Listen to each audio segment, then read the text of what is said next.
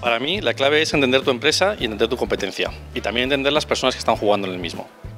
Para mí muchas veces lo que estamos diciendo es que innovación es eh, una nueva aplicación, una nueva web, una nueva tecnología y para mí eso no es suficiente.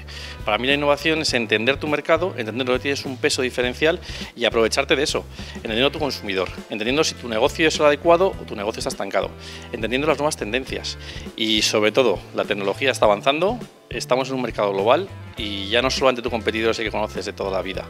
Ahora tienes competidores que ni siquiera existen o que están empezando a existir y que ni siquiera sabes cómo funcionan.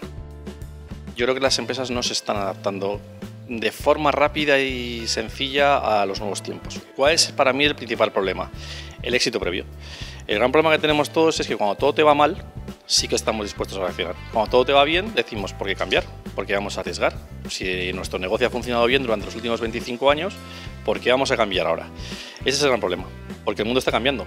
Entonces, ¿cuál es nuestro problema? Que, pensamos que el éxito pasado es suficiente y no, no es así. Si no innovamos, si no cambiamos, dentro de 5 años podemos desaparecer del mercado.